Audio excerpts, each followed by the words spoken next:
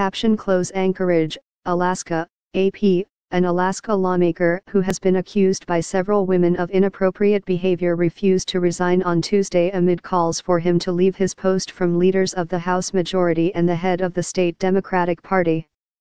State Rep Dean Westlake, who is recovering from heart surgery, said he sought the counsel of friends, family, native leaders, elders, and God when making his decision to remain in office.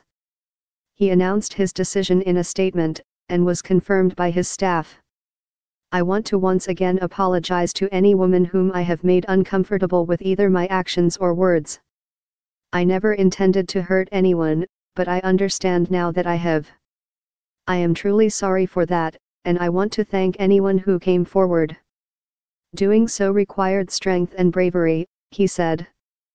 No one from the House majority was able to comment Tuesday evening, and a message left with the state Democratic Party was not immediately returned he vowed to become an ally and supporter of women moving forward.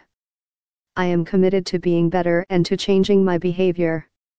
I will learn from this experience, he said. His announcement came after a former legislative aide, Olivia Garrett, complained last spring to House leadership about two instances of unwelcome physical contact from the Democrat at work related functions outside the Capitol. Garrett decided to go public after she said no one informed her how the matter was handled.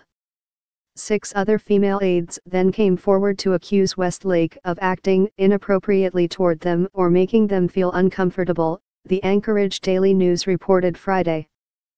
The paper said those women asked not to be identified.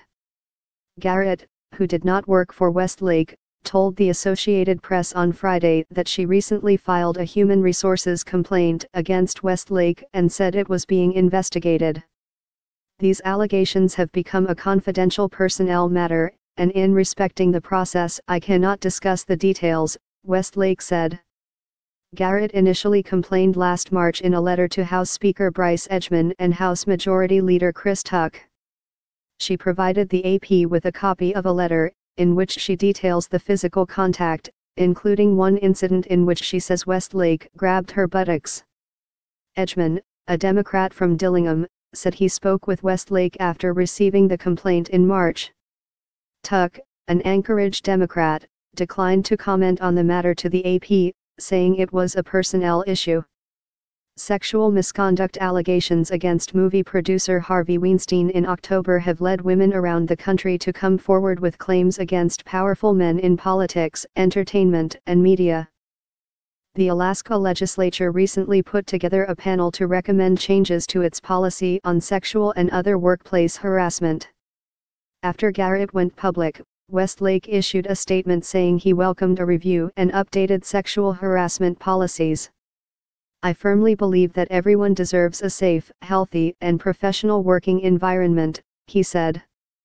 I sincerely apologize if an encounter with me has made anyone uncomfortable.